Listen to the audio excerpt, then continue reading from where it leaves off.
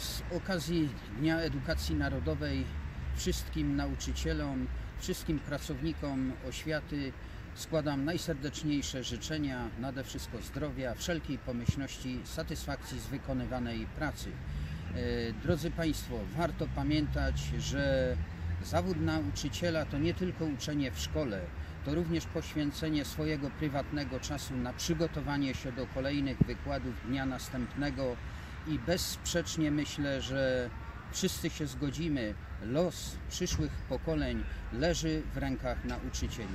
Drodzy nauczyciele, nasi mistrzowie, serdecznie Wam dziękuję za tę ciężką, jakże ważną i jak wszystkim potrzebną pracę. Dziękuję bardzo. Wszystkiego dobrego.